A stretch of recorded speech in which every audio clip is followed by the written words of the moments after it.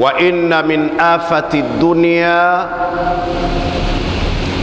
كثرة القراء وقلة الفقهاء.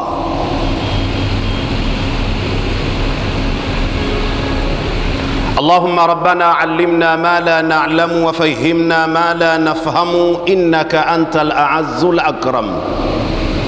اللهم ربنا زدنا علما وارزقنا فهما.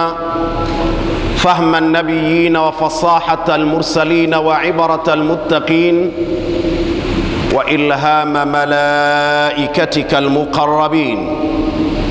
ولا حول ولا قوة إلا بالله العلي العظيم.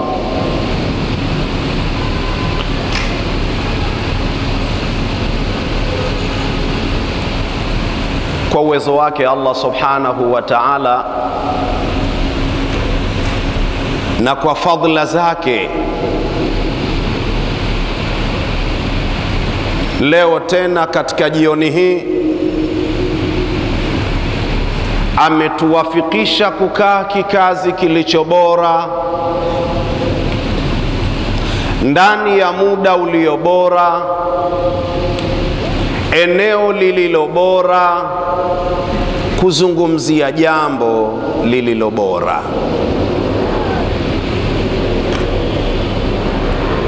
Sheria na hasa tunapozungumzia sheria katika mkusanyiko kama huu, twazungumzia sheria za Uislamu.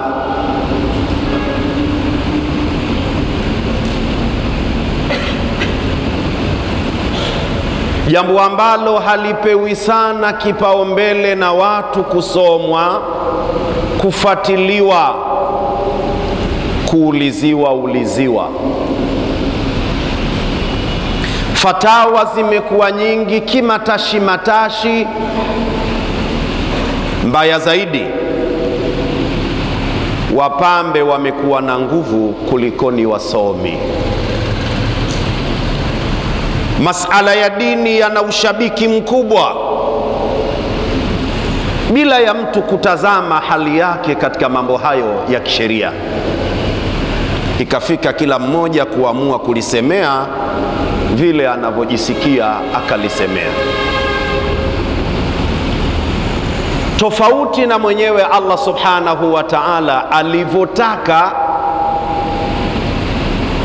sheria ithaminiwe katika kiwango gani, iheshimiwe katika kiwango gani, lakini iwekwe katika daraja gani, hasa pale katika aya maarufu inayosomwa sana nambari 18 ya Surat Al-Jathia.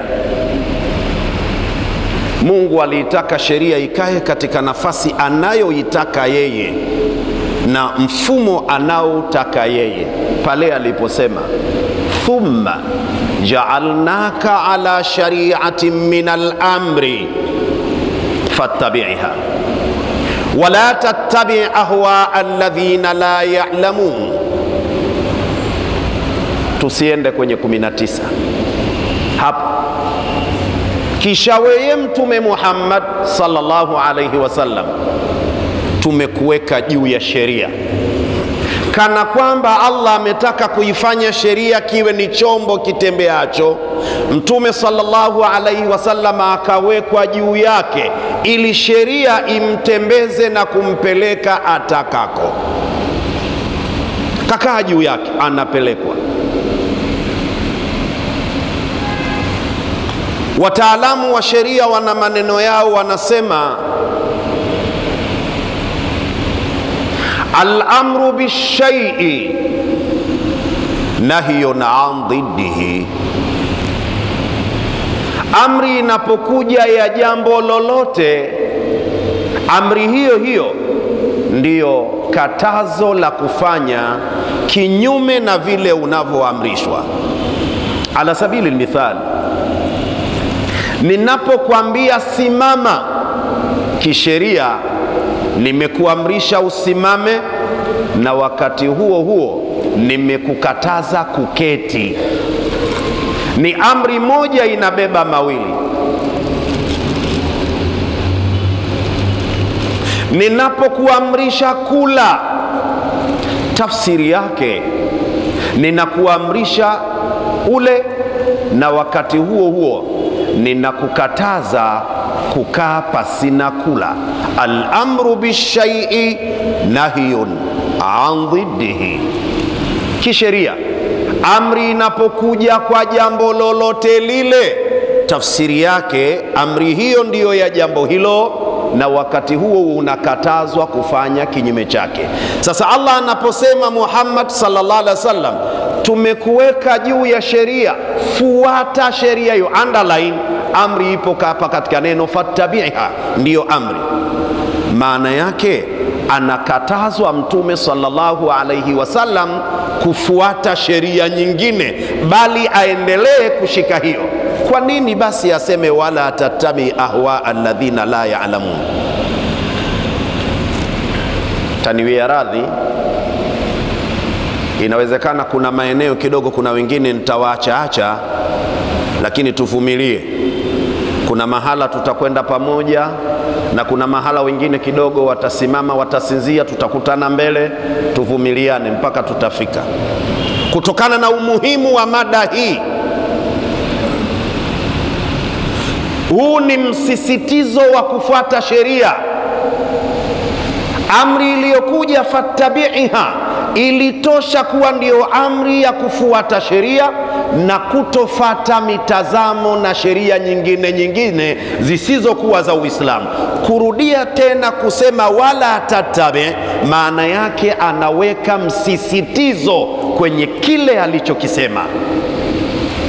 Maana yake Mungu hataki watu wachezee sheria, hataki watu waendeshwe na fikra za watu ambazo sio katika taratibu za sheria.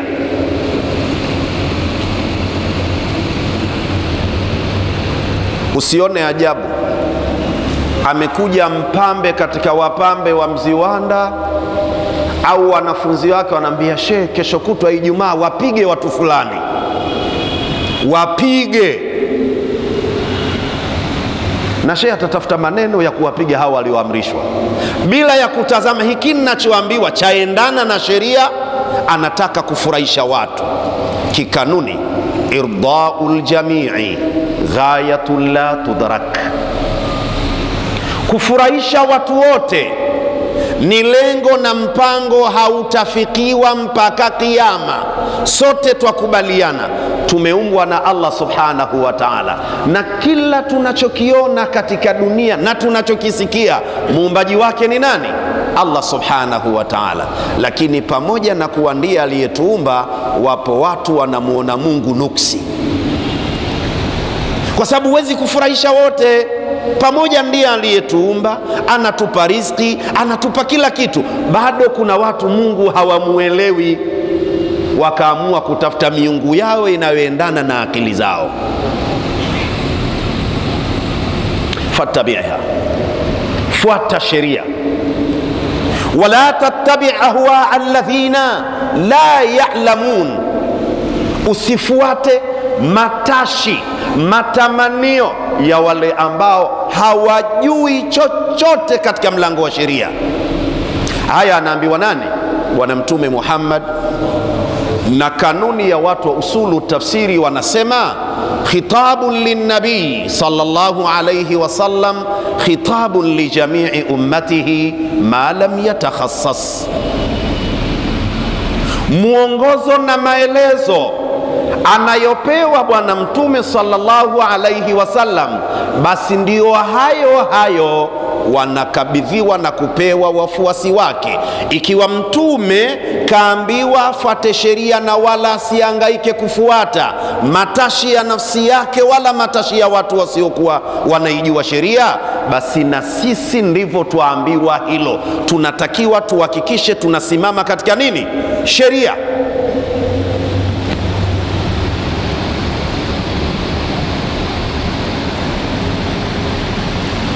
Ikiwa sura ndiyo hiyo, tuna haja ya kujua masadiru tashrii, kwa sababu tunatakiwa kufata sheria.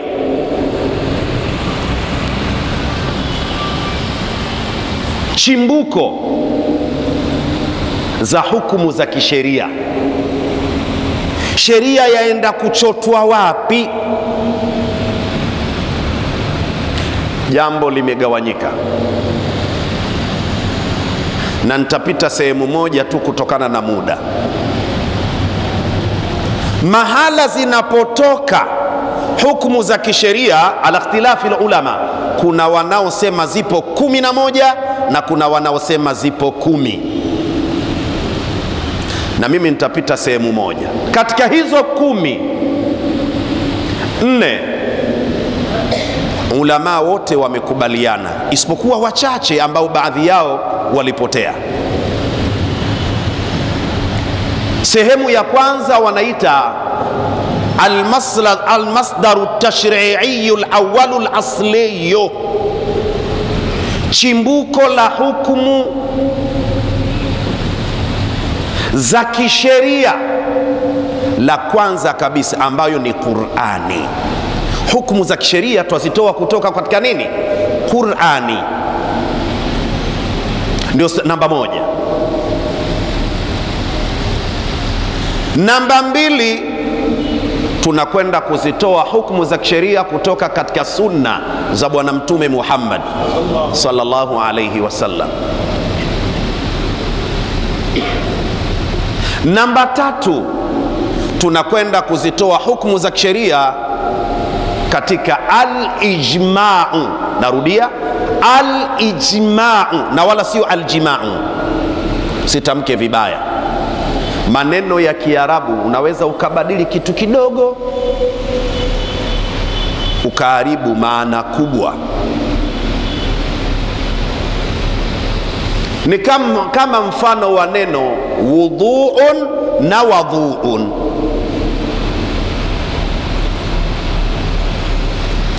Lihyatun ukasema lahyun, badala ya ndevu wewe ukasema taya. Yako mengi katika lugha ya Kiarabu,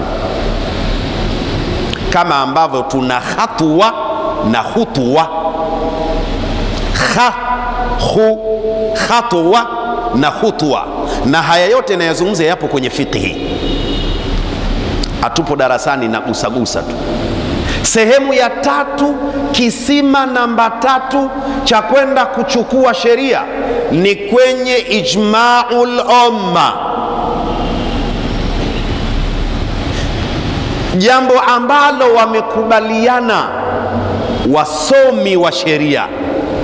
Na tunaposema ijma, sio makubaliano ya watu wa historia, tunakusudia makubaliano ya wasomi wa sheria, kama ilivyokuwa katika ulumu la asiria, secular education. Ndiyo hivyo hivyo katika dini, kuna takhasusati. Huyu amespecialize katika haya, yule amespecialize katika yale. Na sehemu ya nne kuna kipengele kinaitwa alqiyas, kama ambavyo alipata kuulizwa Imamu Ali, nyinyi baada ya kufa Bwana Mtume Muhammad, aliulizwa Imamu Ali na mmoja katika matabi, mambo yanapojitokeza ambayo wakati wa Mtume hayakuwapo, muliwezaje kuyatatua na kuyatolea fatwa? Imamu Ali alisema kunna naarifuha bilmuqayasa, tulikuwa tunaweza kuyatolea fatwa kwa kulinganisha. Haya manne Qurani, Sunna, ijma, qiyas, wanawachuoni wote wamekubaliana kwamba haya ni masadiru tashrii au tashriia. Haya sita mengine ni mukhtalafun, kuna ikhtilafu, sitaki kuyagusa, muda wangu hauniruhusu. Vijana leo wanasema muda hautoshi, lakini jambo nambari nne ambalo ni kiasi, walijitokeza baadhi ya wasomi katika mji wa Basra walikuja kupinga kiasi.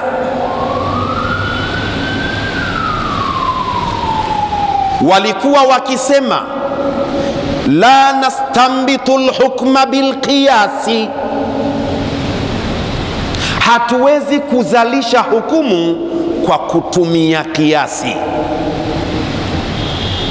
Lakini mawimbi ya dunia ya wanawachuoni yaliwapiga. Hawa, walipotea na hakuna mtu anayewajua. Kawagusa, ukisoma vitabu vya historia za kisheria utawaona, lakini amewagusa kidogo imamu na Imamu Shafii katika kitabu chake Al-Umm, amewagusa hawa kiasi, watu wa Basra, na sasa hawapo tena. Baada ya kujua kwamba hayo ndiyo maeneo ya kuchota kiasi ambayo tunayapata katika msemo wa wanasheria,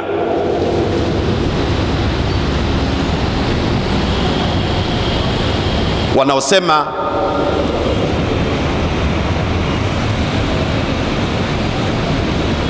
nastanbitu lahkama biwahidin min alumuri thalatha, huwa tunazalisha hukumu za kisheria kupitia njia moja kati ya njia tatu.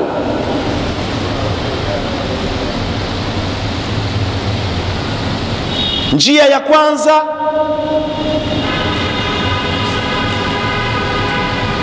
binassin swarihin sahihin, sharti itimie sifa mbili. Misemo ya mtaani nas, nas. Hapa nitarudi, hapa nitarudi kwenye neno nas. Ima tutazalisha hukumu kutoka katika dalili moja, hiyo dalili yenyeweje? Swarihin, iliyokitaja kitu waziwazi wazi. Lakini sio dalili tu, sharti sahihin.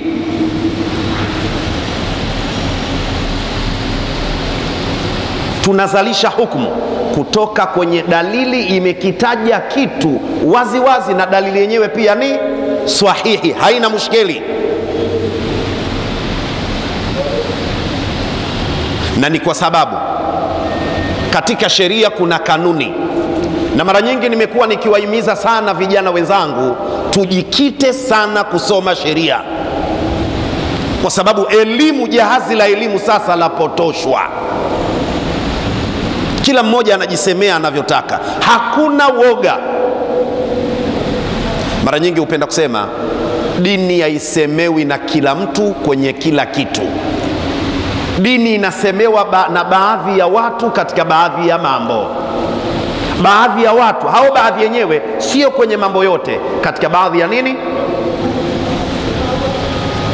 Waliosoma, na hao waliosoma wenyewe wanasema kwenye kile wanachokijua, wasichokijua wanatakiwa pia wanyamaze. Ukisoma watu wa Andalus ambayo kwa sasa yajulikana kuwa ni Spain, walipopata na mishkeli ya masala sabini na mbili waliwatuma watu wawili kwenda pale Madina kutaka fatwa, kipindi cha mwanawachuoni maarufu Imamu Malik, Imamu Daril Hijra, na barua yenye maswali sabini na mbili. Imamu Malik akafutu masala mawili sabini akayaacha. Hiki ni kipande wanachoshambulia Mashia wanasema huyu ndio mwanawachuoni anayetegemewa na watu, masala sabini na mbili kaweza mawili tu. Shehe gani huyu? Ni somo pana. Mmoja katika wale alimuuliza Imamu Malik, anta malikun wala tadri, we si ndio maliki wenyewe unayetajwa alafu unasema ujui? Alisemaje Imamu Malik? ana malikun wala adri wa khabir man waraaka anna malikan la yadri, mimi ndiyo maliki mwenyewe na haya siyajui. Kawaambie wenzio kwamba haya maliki hajui. Si aibu kunyamaza kwenye usichokijua, sio aibu. Ibnu Dujunna, mmoja katika wanachuoni wakubwa, Ibnu Dujunna anasema kalimatu la adri kalimatu ahli Neno sijui, ukiulizwa kwenye jambo usilolijua ukasema sijui, hili ni neno la watu wenye ikhlas. Mtu asiyejua atakuwa kama yule fihi kaulani, kila analoulizwa anasema fihi kaulani, ili ukienda kusikia, nikwambia kuna kauli mbili hapo, anaficha aibu yake. Almuhim, wanasema wanasheria, la yalzamu min sihati dalili sihatu listidlali, hailazimiki na sio sahihi eti kwa sababu ya kusihi ushahidi iwe ni sahihi na mahala unapokwenda kuweka. Inna atainaka ni sahihi, ni aya, ni Qurani, lakini mtu akisema inna atainaka ni ushahidi wa kufuga ndevu, sahihi? Ushahidi ni sahihi, ulipokwenda kuwekwa si pake. La yalzamu min sihati dalili sihatu listidlali, na ndio maana tunasema sheria tunazalisha namba moja. Wapi? binassin swarihin sahihin. Mfano, Allah anasema wala taqrabu zina, musiusogelee uchafu. Hii ni aya, kwa hiyo ni dalili. Dalili yenyewe tena ni sahihi, alafu imekitaja kitu wazi wazi kwa jina lake, nayo imetaja kitu gani hapo? Zina sarihi Hapa tunazalisha wanahyu yaktadhi fasada almanhiyi anhu, kwa mujibu wa sheria, kanuni ya sheria. Hii ni njia ya kwanza ya uzalishaji wa hukumu.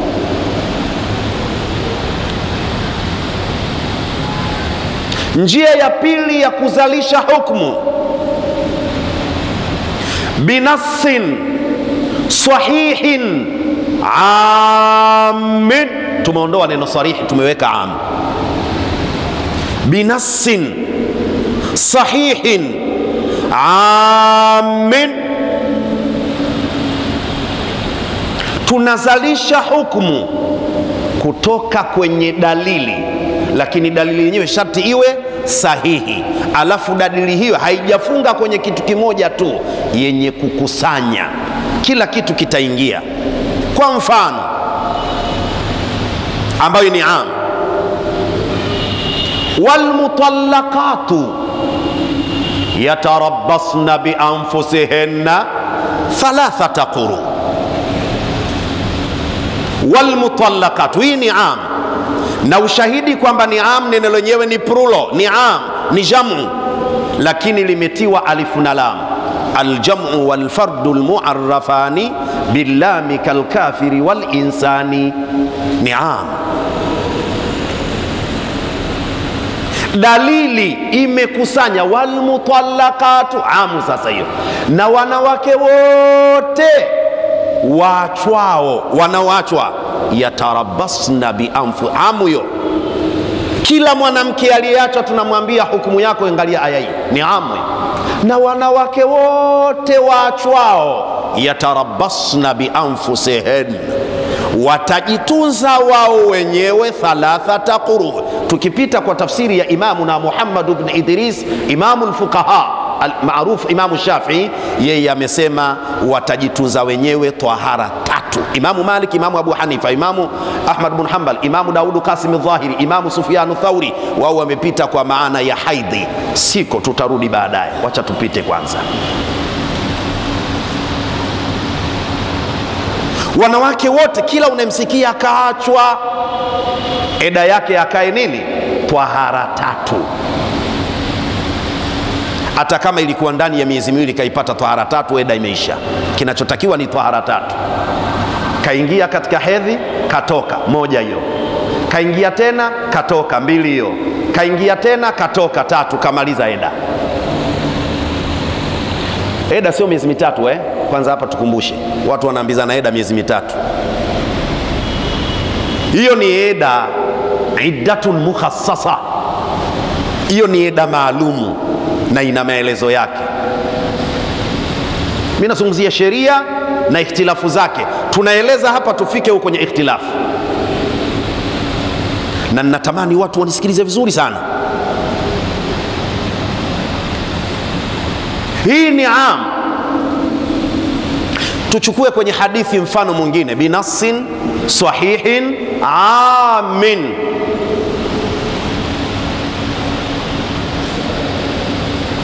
Mtume Muhammad.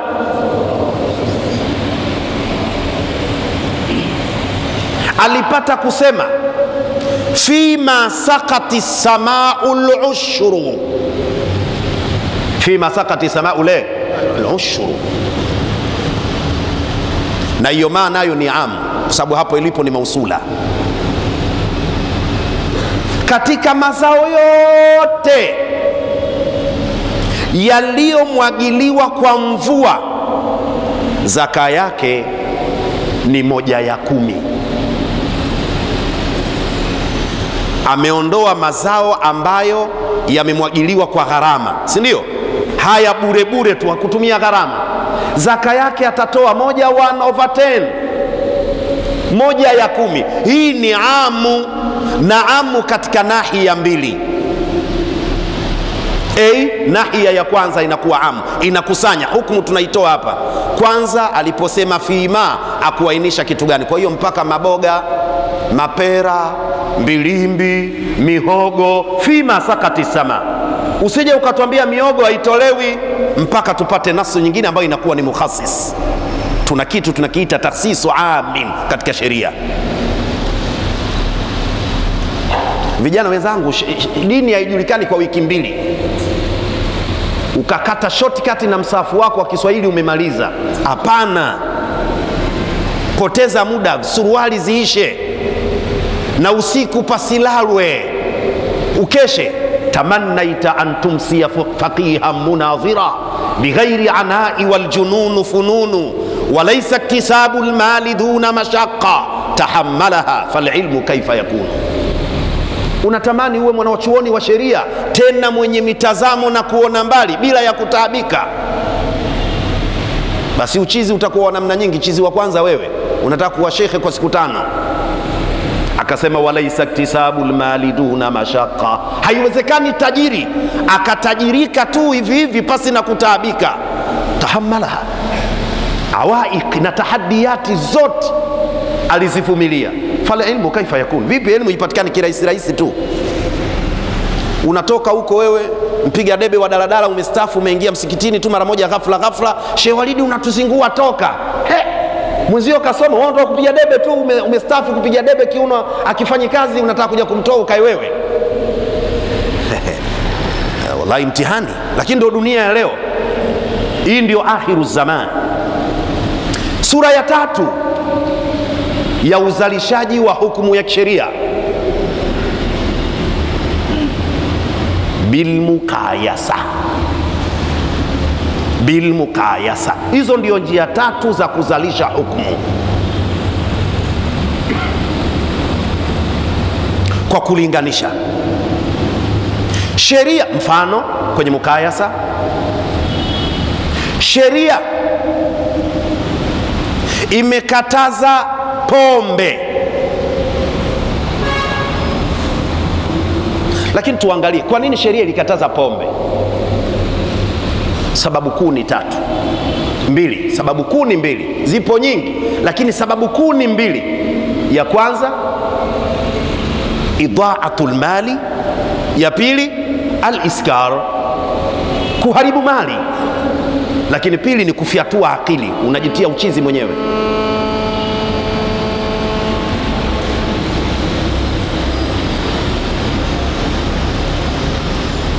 Hivyo hivyo ukienda kulitafuta bange, huwezi kuliona kwenye Qur'ani na wala huwezi kuliona katika hadithi binafsin sahihi labda kwa dalili za kuokoteza. Maanake mtu siku hizi mtu anakaa kashibadengu kwa mkewe, anaandika tu hadithi rawahu fulani. Ukimuuliza hadithi hii imetoka wapi, pia ye mwenyewe hajui. Sijui naeleweka? Sasa ikiwa bange haijulikani, haina dalili ya wazi, kile kilichopatikana katika pombe ndicho tunachokiona kwenye bange, tunapoteza mali. Sambamba na hilo, tunafyatua nini? Akili, tunalinganisha hukumu iliyokuwepo kwenye pombe ndio tunakwenda kubebesha katika nini, bange na vingine. Lakini itasimama hukumu kwa mujibu wa kanuni, alhukmu yaduru ma hikmatihi, wengine wamepita alhukmu yaduru ma illatihi wujudan wa adaman. Bange litapata sifa hizo za pombe lini? Litakapokuwa limevutwa. Lakini likifanywa kuwa mboga alilevi, basi kwenye mboga hatukatazi, tutakataza kwenye kuvuta. Sio kama Kiswahili changu kinaeleweka, maana mimi mdengereko mabwana. Ili bange liweze kufanya kazi ile, likitumikaje? Likivutwa, na kama wataalamu watatuthibitishia kwamba hata ukilipika linafyatua akili, basi pia tutalikataza hata kufanya kuwa mboga, kwa sababu alhukmu yaduru ma hikmatihi wujudan wa adama, alhukmu yaduru ma illatihi wujudan wa adama. Hukumu huwa inakwenda sambamba na sababu yake iliyopelekea ipatikane hiyo hukumu. Uwepo wa hukumu amin, uwepo wa sababu, hukumu inakuwepo. Sababu kama hakuna na hukumu. Kwa hizo ni njia tatu za uzalishaji wa hukumu. Tunasogea mbele.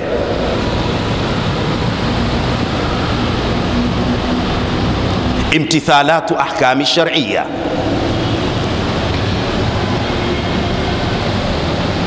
utekelezaji. Sasa tunakwenda katika utekelezaji baada ya kujua sasa, humu ndio tunapokwenda kutoa hukumu. Aina za utekelezaji wa hukumu za kisheria nazo ziko tatu. Imtithalatu ahkami shar'ia, imma namba moja kabisa, tutatekeleza jambo bitahqiqi watathbiti, kwa kuthibitisha kabisa na kuhakikisha hivi ndivyo inavyotakiwa. Mfano wake mwepesi, hivi tunavyoswali swala tano hapa tumehakikisha. Kwa mfano magharibi, utaratibu wake una swali mbili, unakaa tashahudi lawalu, kisha unafanyaje? Unamaliza moja, na uswaliji wake tutazame wapi? Qibla. Yani hii ni njia ya utekelezaji katika uhalisia wake. Sizungumzii zile sunani, muda ukitutosha tutafika huko. Kule kugombea nyiradi baada ya swala, muda ukitutosha tutafika huko. Kama muda ukutosha, basi tutaacha. Hii ni njia ya, njia ya kwanza ya utekelezaji. Vipi utatekeleza hukumu za kisheria? Njia ya kwanza tunatekeleza katika sura ya kuhakikisha kwamba hivi ndivyo ilivyo, na kama vile mfano mwingine katika ufungisho la ndoa kwamba inatakiwa lazima pawe na walii na mashahidi wawili waadilifu. Sifiki huko katika sifa za adala walivyoeleza wanawachuoni. Kwa hiyo baba lazima atoe tamko la ijab, nimekuozesha au nimekuoza, mtakavyogombania. Sifiki huko, na muoaji akasema nimeoa. Yale mengine mengine yale yote itakavyotumika ala ikhtilafi, ni ikhtilafu za wanawachuoni, na kuna maelezo mapana, kutumia mara tatu, mara mbili, mara nne. Hata ukifanya kama Albadiri, nimekuozesha, nimemuoa, nakuozesha, ninamuoa, nilikuozesha, nishamuoa. Hata ukienda mara mia Sharia inazingatia kauli ya kwanza khalas, au ya pili ile inayothibitisha. Katika asli ni kauli inatakiwa iwe ni madhi, nime, lakini inakubalika ndoa hata kama ilifungwa kwa tamko la mudhari, lakini kama utakusudia sasa, isiwe mudhari mustakbal, isiwe future. Hata ulisema mara moja, na kuozesha binti yangu fulani nawe ukasema ninamuoa, kwa maana hivi sasa ndoa imetimia. Hakuna ulazima wa kuwa nime. Hapa napo kunatokea gogoro kubwa, lakini la mitaani, sio kwenye vitabu vya sheria. Maana kuna gogoro za kisheria na kuna gogoro za kuanzisha watu. Istihsani ya baadhi ya ulama sasa kwenye vitabu inapendeza iwe kwa witri, kwa sababu Mtume anasema inna Allaha witrun yuhibbu lwitra faautiru ya ahla lqurani. Basi ile witri yenyewe siwe moja, hizi mbili ziwe za kusisitiza, at least iwe mara tatu. Hiyo katika baadhi ya vitabu, siko kututoke katika utekelezaji wa kisheria, unatenda kwa kuthibitisha namba moja. Namba mbili, bilfardhi utekelezaji kwa njia ya kukadiria. Naamini tulio wengi tunasoma sana hizi fiki zetu za kishafi. Kuna watu wanawaongopea watu hizi ni jafu, hazina dalili, kwa sababu mule katika mukaddima, katika umda hajaona aya wala hadithi. Sasa imamu aweke dalili, anamwambia nani? Dalili alikuwa anatuambia, ile maelezo alikuwa anatuambia sisi, hatuna tujualo tunaweza kutahamal aya na hadithi. Aya kazijua yeye, kazirahisisha, akaweka vile, na we ukisoma ukifikia, utajua hapa alisema kwa sababu gani. Utaiona aya na hadithi ukishajua. Leo wewe soma tu hivyo hivyo, musi waongopee watu, fiku ujafu haina dalili. Huu ni usharobaro wa kishekhe, usharobaro wa kishekhe. Siku hizi kuna shortcut. Kwanza watu wengine hawataki kusema vile vitabu vigumu sio havifai, hawaviwezi vigumu, wanataka vyepesi vyepesi vyepesi. Wewe ulishike Fathul Muini, we Minhaji Twalibina, Umdatu Saliki. Mitabu hii inahitaji akili iliyohitaniwa na inahitaji nakla, usomeshwe.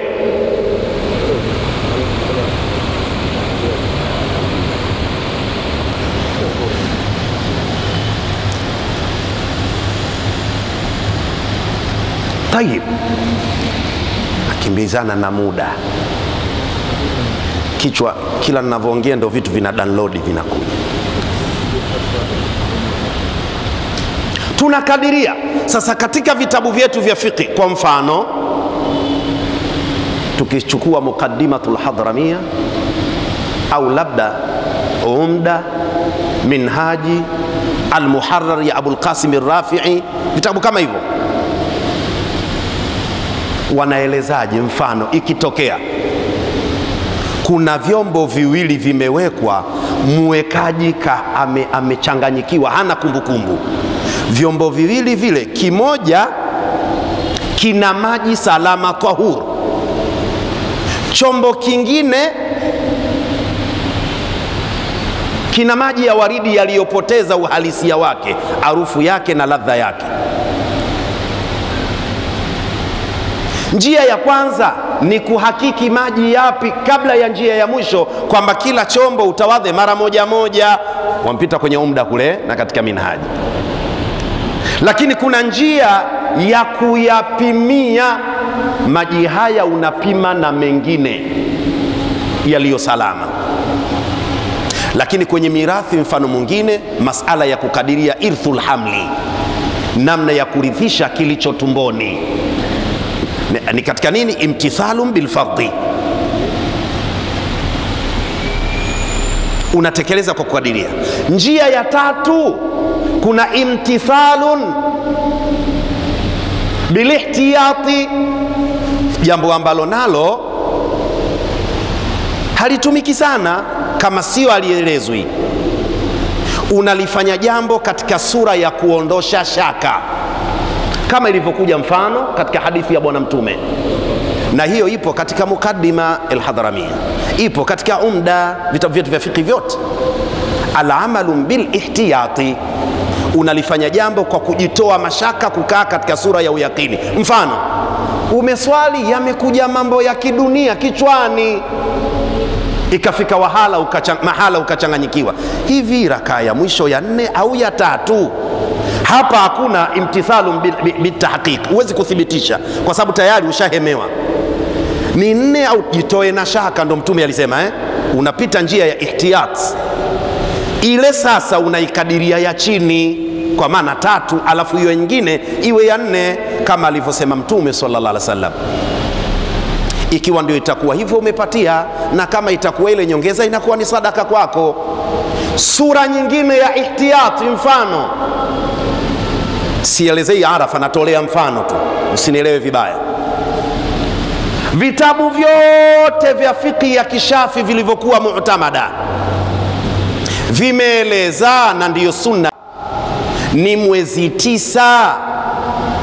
Arafa ni mwezi tisa, mfungo tatu. Nyi watu wa media mna tabia ya kukatakata maneno. Mwenyezi Mungu atawaadhibu, msikatakate maneno na njaa zenu. Wakaieleza kisha wakasema, vito vyote soma. Na katika sura ya kujitoa shaka funga nane na tisa. Unajitoa nini? Ukisoma majumuu sharhi ya muhadhara huko, nisiende basi, niachie hapo, kwa sababu naelezea hii, nisije nikataja vitu vingine tukaanzisha mada ndani ya mada. Tunazungumzia sura ya tatu ya utekelezaji wa hukumu za kisheria, unafanya kwa kujitoa shaka. Kwa hapa kwetu leo ndio ngapi? Tisa. Amin, kesho ndio tisa kwa hapa kwetu, lakini tumeelezwa katika kujitoa shaka, anza kufunga nane na ngapi? Ni sura katika sura, na hivyo hivyo ukienda katika funga hii inayokuja ya Ashura hii sasa, ihtiyatu zimewekwa mbili, ufunge tisa na kumi na moja. Ameeleza pia katika Qalyubi, ameeleza vizuri wa Umaira, unafunga tisa kumi na kumi na moja. Ihtiyati ni tisa na kumi na moja, yenyewe mwezi kumi. Hizi ni sura tatu za utekelezaji wa matendo ya kisheria. Ingekuwa darasani tungeeleza maana ya ahwat kwa mujibu wa fiqhi ya Kishafi, kwa sababu kuna ikhtilafu katika kuielezea baina ulamai lfiqhi, wanavyoeleza Hanafia sio Hambalia. Ukiwa umenielewa, humo ndimo tunapokwenda kuchukua sheria, hukumu za kisheria, na huo ndio utaratibu wake wa kutekeleza. Kwa nini kuna ikhtilafu? Ikhtilafu zimetoka wapi?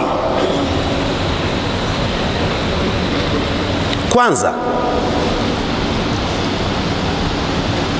tunaposoma historia ya Uislamu wanaeleza wanawachuoni, ikhtilafu ziko katika sura tatu. Leo tunazichanganya hizi ikhtilafu. Kuna ikhtilafu siasia ambazo asili yake ni Hijazi na Irani. Magomvi yao asili yake ni ya kisiasa, leo yametiwa katika dini. Ikhtilafu siasia, mivutano ya kisiasa. Hijaz kwa maana Arabuni walikuwa na matatizo yao na Wairani ya kisiasa, yana vyanzo vingi, na moja katika vyanzo vyake ni al-imama au al-khilafa, masala ya uongozi na watu wapitie katika Islamic history. Ikhtilafu ya pili, kuna ikhtilafu itiqadiya, mivutano ya kiitikadi. Hii nayo leo watu wameichanganya, wameifanya iwe katika dini. Hata katika historia ya uanzaji wa firka salafia, usalaf ambao ulianza katika karne ya nne. Madhahabu ya usalafi, watu wasifikiri yameanza leo, yameanza karne ya nne kwa watu kudai wao ni wafuasi wa Imamu Ahmad bnu hambal walijinasibisha kule, ndipo ulipoanza usalafi, ukawa kama umefifia, ukaamshwa tena katika karne ya saba, kipindi cha mwanawachuoni Ahmad ibn Taimia.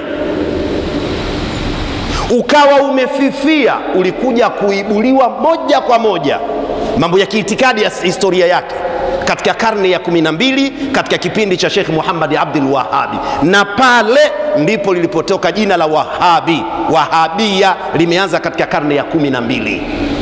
Nisbatan ila lwahabi, kwa maana kama unavyosema Shafiia, unaposema Wahabia, wafuasi wa Shekhe Muhammad Abdul Wahabi ambaye amefariki mwaka 1787 miladi AD. Leo tunasema 2021 sio? amefariki mwaka 1787 Sheikh Muhammad Abdul Wahabi, mwanawachuoni wa karne ya 12. Pale ndipo ulipopata nguvu usalafi, na mivutano yao ilikuwa ni katika masala ya kiintikadi. Ukisoma katika Islamic history, inawezekana baraka ikapatikana kwa mtu unyenyekevu kwa mtu, ndivyo vyanzo vilipoanza hapo mpaka kupata nguvu. Na tatu, kuna ikhtilafu madhhabia fiqhiya, mivutano ya kimakundi ya kimadhehebu kisheria.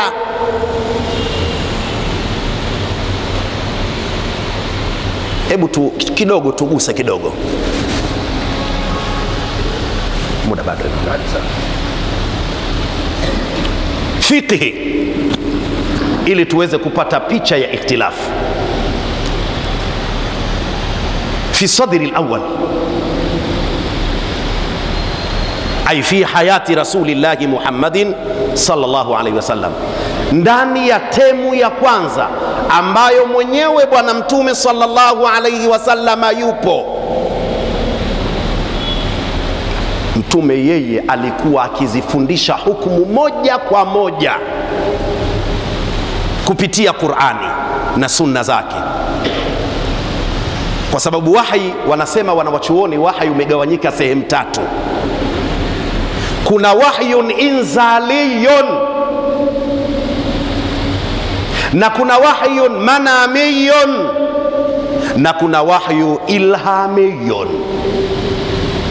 Sasa inapokuja Qur'ani, Bwana Mtume sallallahu alayhi wasallam, kama ni aya ya sheria, yeye anawafundisha moja kwa moja, hapa kinachokusudiwa moja, mbili, tatu. Kulikuwa hakuna haja ya kutafuta kitabu cha fiqhi, reference ipo kama unavyoona leo. Wakati mwepesi tu nikusaidie mfano mwepesi, masala ya pesa na benki unakwenda Dubai au unakwenda mkoa fulani kununua mchele, huwezi kubeba begi la, la pesa, utakuwa una matatizo. Unaondoka na kadi ya benki tu. Kwa hiyo kadi ya benki wakati ule alikuwa Bwana Mtume Muhammad, yeye anamaliza kila kitu.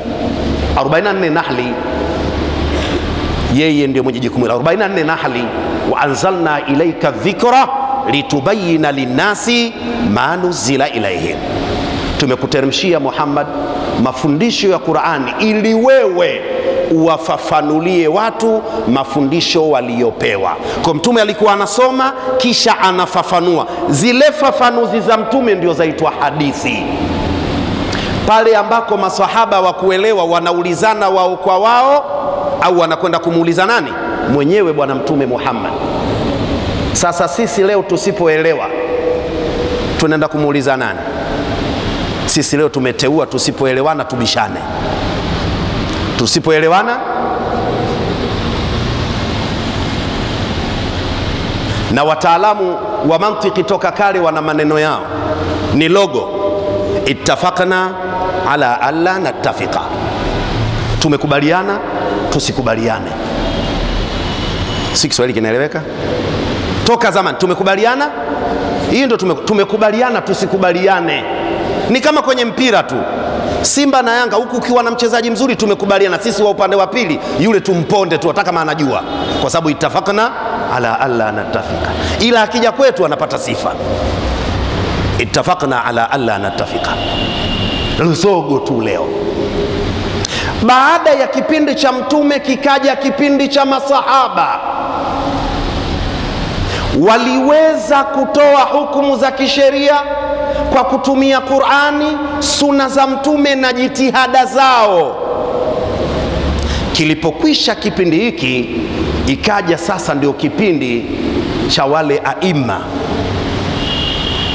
ambazo wanasema wataalamu zilikuwa zina turu kuu mbili, hatua kuu mbili. Asri ya kwanza ambayo ilikuwa ina wanawachuoni maarufu kwa mujibu wa maeneo kwa mfano Iraki, ukanda ule wote anazoa mpaka tuseme ile Shamu yote ile alikuwa anazoa Imamu ahli lkalami. Ambao kwa jina lingine lakabu nyingine walimuita Sheikhul Qiyasi, Alimamu Numanu ibnu Thabit maarufu Imamu Abu Hanifa, ndio anaitwa Imamu Ahli Lkalami, mwana falsafa na ndiye aliyetajwa ndio bingwa wa masala ya kiasi, Sheikhul Qiyasi, moja katika lakabu zake. Imamu Ahli Lkalami unamkusudia Imamu Abu Hanifa, Sheikhul Qiyasi unamkusudia Imamu abu Hanifa, kama wanavyomwita Alimamu Tabari, Imamu Lmuarikhin, ndio kiongozi wa wanahistoria ya Kiislamu. Imamu Tabari wanamwita Imamu Lmuarikhin. Sasa kipindi kile kikanda ile ya Shamu yote masala ya kisheria, maana yake tunasema sasa Mtume Muhammad sallallahu alaihi wasallam ameondoka, masahaba wameondoka, sasa tunakwenda katika temu ya aima. Kipande kile kilikuwa na Imamu Abi Hanifa, Iraki yote.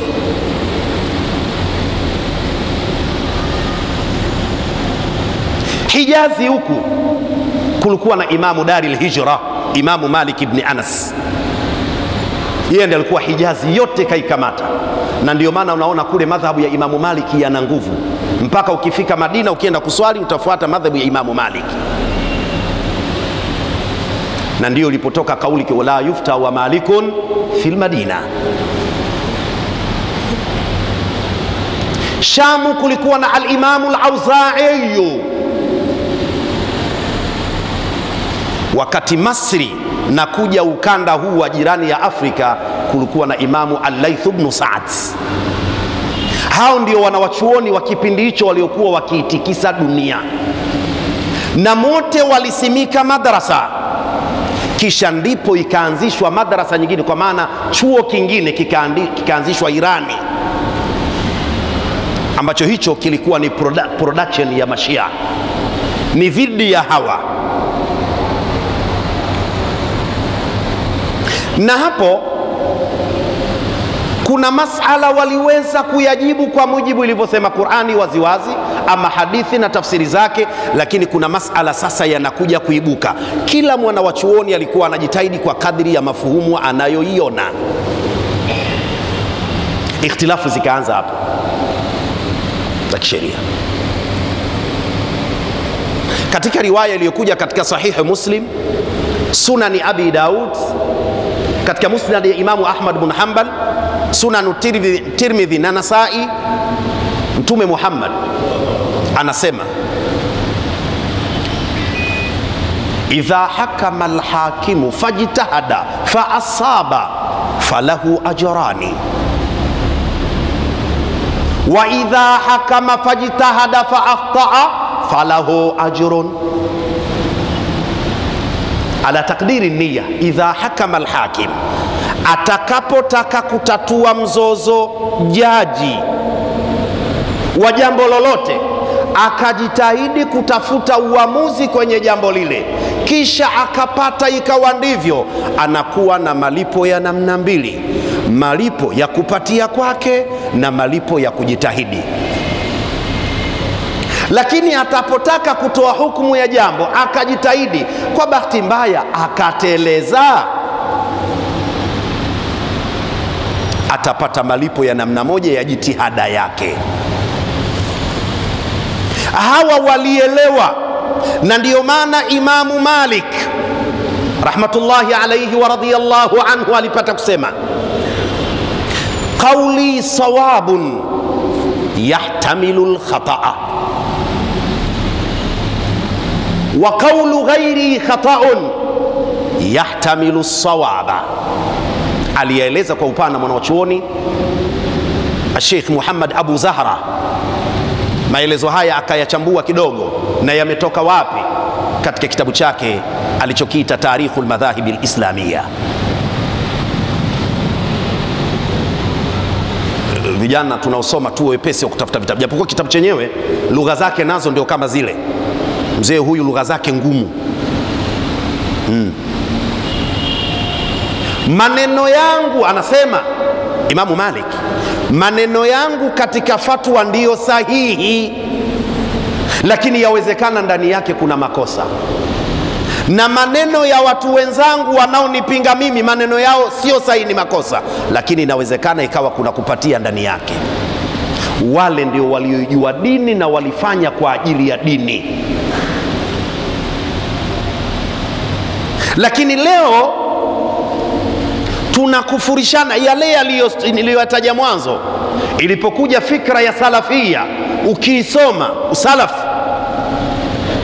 wao walikuwa mutashaddidun fil ashiya.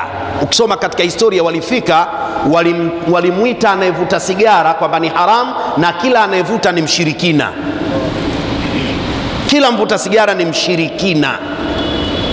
Yani walikuwa mutashaddiduna fi furui sharia, sio fi usuli sharia.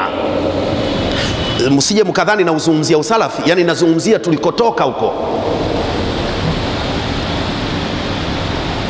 lakini ikhtilafu inakuja tena katika hadithi. Daktari Muhammad Mustafa Ahmad Shuaib, mwana wa chuoni muhadith msaudi huyu, alipokuwa anapinga tashadudu katika masala ya dini, uking'ang'anizi na maguvu, Daktari Muhammad Mustafa Ahmad Shuaib, maelezo haya pia utakwenda kuyapata katika moja ya vitabu vyake ikiwemo Arraudhatu Nadiya bisharhi mandhumati lbaiquniya fi mustalahi lhadith. Arraudhatu Nadiya, Dr Muhammad Mustafa Ahmad Shuaib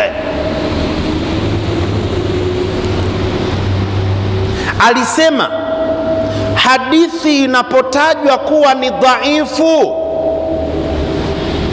hadithi hiyo asili yake inacheza. Katikati, inawezekana ipo daraja ya hasan, na asilimia kubwa ya hadithi zinazotajwa kuwa ni dhaifun inakuwa ni dhaifun la bilhaqiqa wa innama bilijtihadi, sio kwa uhakika, ni jitihada ya yule msomi, kajitahidi kaona iwe ni hii itakuwa dhaifu. Mfano, msinielewe vibaya, natoa mfano. Mfano,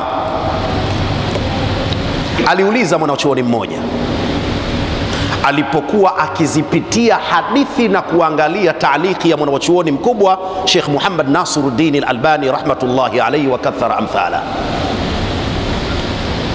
alisema inanipa shida wanawachuoni walio karibu na zama za Mtume Muhammad, hadithi waliiona kuwa ni sahihi au hasan, lakini akaja mwanawachuoni wa mwishoni, yeye akaona dhaifu. Wale wa kule wa zama zile wao wameiona inafaa, huyu wa leo anaiona haifai. Hii inanipa shida, mafumu yake. kiswali changu sinaeleweka? Yani wale watu waliomwishi Shekhe Hasani bin Amili mfano wakathibitisha haya kweli, kayasema Sheikh Hasan bin Amiri, alafu inakuja mtu kutoka Tandika Azimio Maputo Muharram anasema haya hakusema. Hii inanipa tabu kuelewa. Hadithi alizozisaisha tabi Imamu Malik amekuja baadhi yake Sheikh Muhammad Nasiruddini kuzisema hizo dhaifu. Ina maana amezijua dhaifu kwa kufuatilia vipi, wakati waliopokea wote washakufa Sieleweki itakuwa eh? Wale wapokezi, yule aliyekuwepo wakati ule alipata urahisi wa kuwaona wale wapokezi au waliowaona. Huyu hakuwaona wapokezi wala aliowaona wapokezi wala aliowaona wapokezi wa wapokezi. Kaja juzi kafa mwaka 97 si 96. Alitumia kigezo gani? Ajasema kwamba kaongopa, yeye kauliza tu istighraban, amepigwa na butwa, mshangao lakini akasema wallahu alamu. naelewekwa sijue ni Niwape mfano. Tuna hadithi nakumbuka, si juzi ya ngapi, ma, walimu hapa mashehe zangu watanisaidia, huko sehemu nyingine imetajwa sana, lakini tuchukulie kwenye kitabu hiki Mabadi Ulfiqia, kimoja, si juzi ya tatu, si ya nne, katika masala ya kusindikiza jeneza kuna hadithi imetajwa ambayo imepokea Imamu Abi Daud, japokuwa pale haikuwekewa taalik. La tushayiu janaza bisautin wala nar.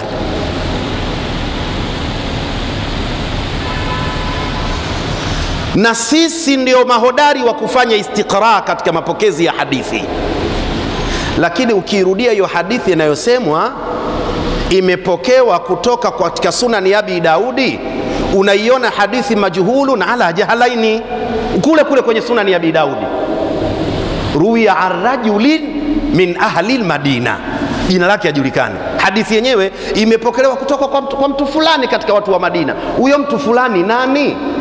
Alafu mbaya zaidi, an abihi, baba yake yenyewe pia hajulikani nani au sieleweki? Nyinyi fuatilieni katika sunani ya Abi Daudi hiyo hadithi, ruya an rajulin min ahli lmadina an abihi, yeye huyo mtu mwenyewe nani? Na katika masala ya mustalahul hadithi inaruhusiwa kuifanyia kazi hadithi ambayo mpokezi hajulikani? Swali linakuja, hairuhusiwi, maanake haifai. Lakini ndio hadithi inaong'ang'aniwa katika masala tashiul janaza, msiseme la ilaha illallah, kwa sababu kuna hadithi mtume kakataza. Kapokea nani? Mpokezi yenyewe hajulikani. Ikhtilafu zimekuja huko, nenda katika Tuhfatul Ahwadhi, sharhi ya Sunani Tirmidhi, katika masala ya kufunika kaburi utaona wamezileta hadithi zote. Kuna hadithi inayokubali kufunika na hadithi zinazokataa kufunika lakini kanuni ya sheria inasemaje? Almuthbitu muqaddamun ala nafi, maelezo yanayothibitisha yanatakiwa yapewe kipaumbele dhidi ya yale yanayokanusha. Sasa zikikutana, hadithi inaruhusu kufunika na inayokataza, tufanyie kazi ipi? Wakatokea baadhi ya wanawachuoni wanasema tatizo hiyo inayoruhusu dhaifu. Tunarudi katika maneno ya Doktor Muhammad Ahmad Muhammad Mustafa Ahmad Shuaib asili ya hadithi inayotajwa kuwa ni dhaifu asili yake ni hasani.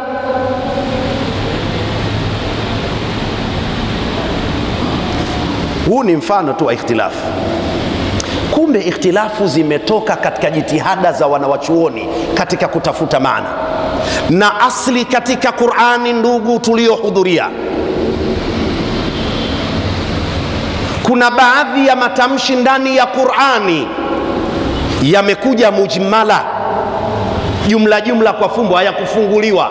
Mfano aya niliyoisoma mwanzo, walmutallaqatu yatarabbasna bianfusihinna thalathata kurui Hii neno kurui Qurani imeliacha katika jitihada za mwanawachuoni, na ndiyo maana ukaona wanawachuoni wamehtilafiana. Wengine wakasema kurui ni hedhi, wengine wakasema kurui ni nini? Ni twahara. Ama ukichukua hadithi ile ambayo ya yule mwanadada aliyekwenda kumuuliza Mtume, alimwambia uturuki salata ayama aqraiki, wakasema hii ndio tafsiri. Ah, hii sio bayani. Na hapo kuna maelezo kadhaa, au hadithi iliyokuwepo katika Dari Qutni inayosema lilamati haidhatani, wala siyo bayani. Na ndiyo maana pia wakaja baadhi ya wanachuoni wakasema innahu lam yasihu aslan, akiwemo Imamu Shafi, haimo kabisa, sio dhaifu, haimo kabisa, kaikataa. Ni masala mapana katika sheria. Kwa kuwa saa mbili kasoro ni adhana, nimeeleza katika sura ya mzunguko sana maana yangu nini Uislamu unakopelekwa sio kwenye sheria, tunaupeleka Uislamu katika umakundi, ubinafsi. Mtume Muhammad anasema laisa minna man daa ila asabiya, si mwenzetu anayelingania watu kwenye mambo ya ubinafsi binafsi. Leo tunapelekana motoni na hawa unawapeleka peponi. Nipo kwa swaiba wangu Shekhe Walidi, haya ninasema mimi, hajasema Shekhe Walidi. Aliyekuwa salaf ni Muislamu, aliyekuwa hizbi ni Muislamu, Shafii ni Muislamu. Ukisoma katika historia huko asili, madhehebu zilifika madhehebu mia tatu na hamsini. Leo zimebaki madhehebu maarufu nne kwa huku kwetu, lakini kwenye vitabu ambazo zinasemwa sana sasa ni madhehebu sita, lakini maarufu kwa huku kwetu si ni ngapi? Nne. Madhehebu ya Imamu Abu Hanifa, Imamu Maliki, Imamu Shafii na Imamu Ahmad bin Hanbal, lakini kuna madhehebu mengine, madhhabu Thauri. Na kuna madhhabu Dhahiri ya Sheikh Daudu Qasim Dhahiri nilipata kusema ambao wale wamejuzisha mwanamke unaeta kumuoa kumuona kote mpaka matiti na nini kasoro reception katika madhhabu ya daudi Kasim Dhahiri, sio Daudi huyu.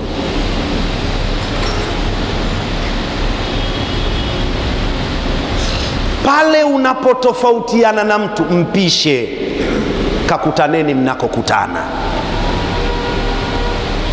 Huu ndio wasia wangu pale unapotofautiana na mtu katika mtazamo. Kwa mfano, yako mengi sana ya kuwapa mfano katika sheria, lakini tuchukulie mfano aladadu fi lwudhu, masalatu ladadi fi lwudhu, masala ya idadi kwenye kutawadha. Kuna ikhtilafu kubwa kwa wanaochuoni wamekubaliana kilichowajibu ni mara moja, ikiwa itafanyaje, itaeneleza eneo. Mara moja ndio wajibu. Sasa ikaja ikhtilafu, nyongeza ya mara mbili na mara tatu ni nyongeza ya suna au ni kuamua tu? Zogo hilo, na kila mmoja amestadili kwa dalili yake. Ingekuwa tuko darasani tungesema pana ikhtilafu kubwa hapo. Wakapita wanawachuoni wakasema ziada la fadla laha wa innama alwajibu marratan, ziada haina fadhila, haina nyongeza ya thawabu. Ukiosha kama ni uso mara moja khalas, kama umeeneleza inatosha. Kule kurudia endapo una wasiwasi, kuna mahala pa kupata maji khalas. Imamu Shafi anasema hapana, ni mara tatu. Wakaja wakastadili na hadithi ya Bwana Mtume sala salam. Mbona zimekuja riwaya mbili kwamba Bwana Mtume sallallahu alaihi wasallam alipata kutawadha mara tatu tatu na pia alipata kutawadha mara moja moja? Wakasema naam, kama imethibiti hivyo, zote sunna na kama zote sunna, hii ya mara tatu ndiyo sunna zaidi aliyoieleza Imamu Shafi, kwa sababu ndani yake kuna ihtiyat, unaon, unaondoa shaka na unakuwa na uhakika kile kiungo chote kimeenea maji ukipita mara tatu. Walhaqiqatu aula min ashaki, lakini kuna zogo hapo. Tukisema tuchukue dalili za hawa dalili za hawa, tutengeneze magharibi na isha nyingine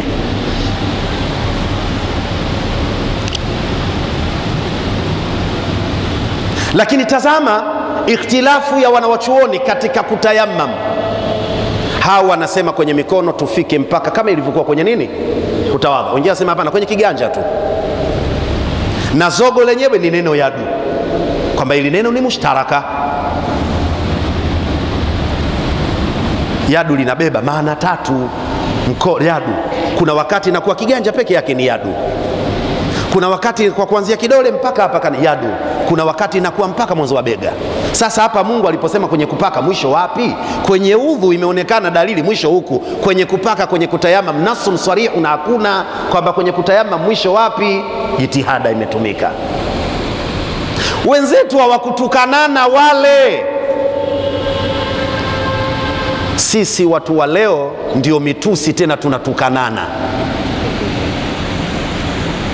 Almuhimu, haya ni masailu khilafia, wa innahu la yunkaru lmukhtalafu fihi wa innama yunkaru lmujmau alaihi. Khalas, tusiende tukatukanana.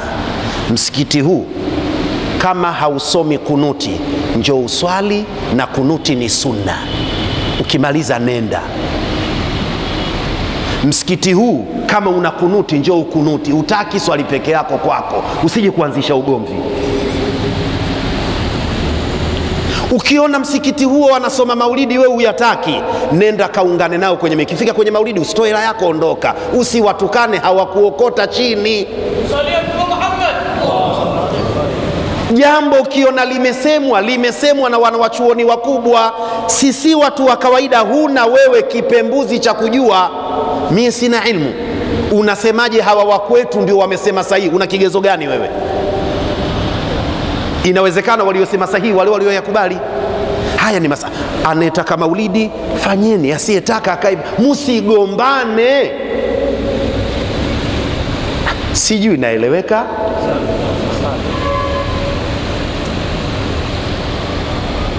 Hivi jamani, tugombane kwa sababu ya ndevu? Kweli zina khilafu huko kwa wanaochuoni, kuna khilafu huko. Watu wa Ahnaf na Ibadha wao wamepita, anayenyoa kabisa, sio kupunguza, zote zikaisha, haisihi kuswalisha, na ukiswali nyuma yake swalatuka batila. Ndiyo, katika madhhabu ya Abi Hanifa ikhtilafu wanasema kwenye kunyoa na kupunguza, lakini ukinyoa zote wao. Lakini katika madhhabu ya, ya Imamu Shafi wamepita ni sunna, lakini muakada ziwepo sunna, lakini ni nzito, isiwe kama unyayo. Imamu hawi kidevu balbu. Hayo hapa zipo lakini kwa sababu waliotofautiana ni wasomi, sisi wengine tufuate tu kwamba mimi namfuata imam khalas.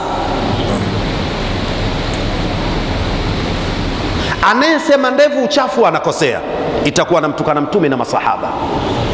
Ni vyema kusema ah, ndevu sio wajibu kama upo mpande huu, ndevu sio, lakini usiseme uchafu. Tusigombane kwa sababu ya kanzu na suruali yake ndefu, yake fupi, huyu tena imefanya kafanya tena nani, imekuja chini ya magoti kabisa, kanzu au nusu kanzu, itakavyokuwa hivyo, vitu vidogo. Mtume Muhammad alichosema katika wasia, qul amantu billah thumma staqim Tamka shahada, iweke moyoni, kisha tenda matendo ya Uislamu. Khalas. Madhehebu na makundi ni usafiri, sote tunakwenda Dodoma. Wewe umepanda gari, mie bodaboda, we guta, we ndege, lakini sote tunakwenda wapi? Wewe umepita madhehebu yako ya Hambali, huyu Shafi, lakini sote tunataka kufika salama mbele ya Allah. Hivi ni vyombo, sio ndio Uislamu wenyewe. Naomba nieleweke, madhehebu ni vyombo. Kwa hiyo kutokana na muda nisitishe hapa ili isomwe adhana. Baada ya kusomwa adhana, tusikilize mwongozo wa Amiri Sheikh Abdallah na timu yake, e, nini kinachoendelea. Insha Allah vijana tukasome sheria katika sheria zetu hizi za dini za Kiislamu za kunakuwa kuna mambo mawili katika nikaha kuna mambo mawili, kuna jambo moja, na katika jambo la haji kuna jambo moja. Katika nikaha inasema pale aliposema Mungu, fankihu ma taba lakum minan nisa mathna wa thulatha wa rubaa fa in khiftum alla taadilu fawahidi fawahida ana uadilifu basi aoe mmoja. Na katika hija pale Mungu alisema aliyakuwa mtu mwenye uwezo huo wa kifedha, uwezo huo wa kiafya, au uwezo huo wa namna gani uliozungumziwa katika upande wa hija. Haya, swala limesikia Darueshi, swala la Darueshi limesikia inshallah. Tuchukue swala la pili ili Sheikh Hakim kumwachia Tadriki kwa maswala yote. Swala la pili kama liko ndani ya mada, swala kama liko ndani ya mada. kufuatilia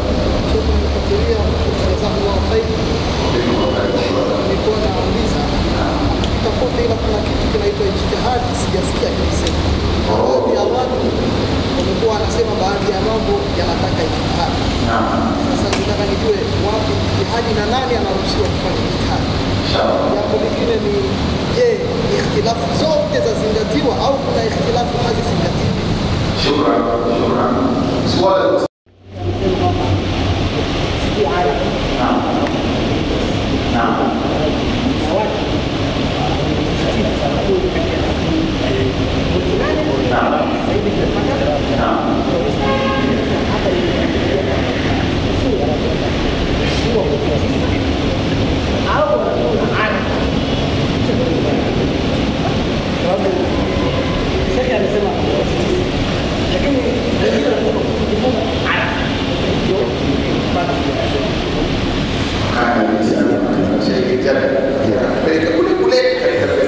Itachomoka mwenyewe. Kwanza la Darweshi, aya aliyoisoma hakuimaliza, imeeleza huo uwezo. Aya hiyo uliyosoma hukumaliza walillahi ala nnasi hiju lbaiti man istataa ilaihi sabila, ambayo ni majazi hiyo mursal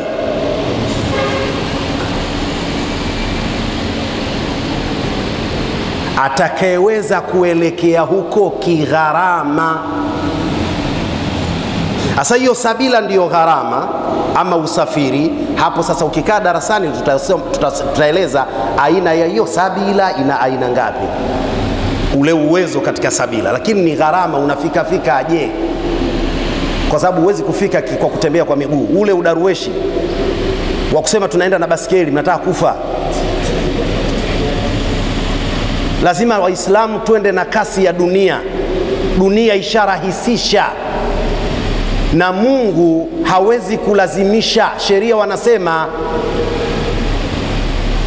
la taklifa fima la yustata, la taklifa fima la yustatau, hakuna kulazimishana katika jambo lisilowezekana. Na ndiyo maana watu kwa kutoielewa neno kuweza, anafika wakati anakwenda kuomba kwenye taasisi, nifanyie mpango, tengeneza tengeneza nami. Hakuna hija ya mpango shekhe hija kwa anayeweza. Usiyeweza huna dhambi. Kule sio picnic, sio sikukuu. Unaweza tulia bwana, mimi nitaongaonga. Unaenda hija kwa kuonga? Hamna hija hiyo, anza upya. Umenifahamu bwana? Kwa hiyo manistatwa kilichokusudiwa kuweza kwa nini? Sabila, kwa kukufikisha huko. Unafika fikaje? Ndio kinachokusudiwa. Swali la shekhe hapa ameeleza, lakini kuna kitu anasema. Bahati nzuri kasema vizuri, inaonekana huyu anakaaga darasani. Kasema sijasikia, akusema hukusema. Mi Mswahili kweli, wewe ukusikia, lakini mi nimesema. Kwa mfano, nimesoma hadithi ya Mtume Muhammad, idha hakama alhakimu fajitahada lakini ukiondoa hapo, nilitaja katika sababu zilizopelekea ikhtilafu, kwa sababu kuna baadhi ya maneno yamekuja ndani ya Qur'ani ni mujmala, yameachwa katika ijtihadi ya faqihi. Kwa ijtihadi ndiyo iliyosababisha, tukatolea mfano kama neno kurui, wamefasiri kwa jitihada Wanawachuoni wengine wamesema ni hedhi, na wengine kama Imamu Shafi akasema ni nini? Twahara. Isipokuwa neno neno neno lenyewe ijtihadi, nalo ni somo lingine. Sasa huyo anayeitwa mujitahidi sio yule anayekwenda kila siku madarasani, sio anayejitahidi yule. Kwa lugha nyepesi, tumefundishwa mujtahid, maana yake ni mtu mwenye elimu ya sheria ya kiwango cha juu. Sasa hapo pamegawanyika kuna ijtihadul ma, ijtihadul madhahib wa ijtihadul madhhabi, ambayo huko sasa tukienda tu tunakwenda kumtafuta mtu anaitwa mufti, anaitwa kadhi, huko kwenye masala ya ijtihadi. Hilo somo lingine jipya, lakini jitihada ni jitihada ndiyo moja katika vyanzo vilivyozalisha nini ikhtilafu, kwa sababu mimi nimeelewa hivi kama tulivyoeleza katika masala yale ya idadi katika kutawadha, huyu kaelewa hivi. Kwa jitihada ipo, lakini mlango wake mpana. Bwana yule na bwana huyu wamekaribiana katika walichokieleza, na mimi nimetaja kitu katika sura ya mfano. Nilichozungumzia mimi kwenye kipengele cha utekelezaji wa hukumu za kisheria tuna kitu tunakiita alamalu bilihtiyati, kutenda ibada katika sura ya kujitoa katika mashaka. Funga ya Arafa ni mwezi tisa, mfungo tatu. Sasa tisa wapi? Tisa ya wapi? Wewe na shehe wako kwenu, kamuulize huyo. Umenelewa bwana? Msikiti unaposwali we, msikiti wako yupo shehe, kamuuliza hii mwezi tisa ya wapi? Ya Bungu, ya kijito nyama ya Kijichi, ya wapi? Shekhe wako yule atakwambia. Ila yustahabu, ndio niposema mimi kufunga nane na tisa ihtiyatan, wala sijakuja na mada ya ufungaji wa Arafa, hasha wakalla. Usinitie kingi. Sheikh Abdallah, nimejibu bwana? готов? Да.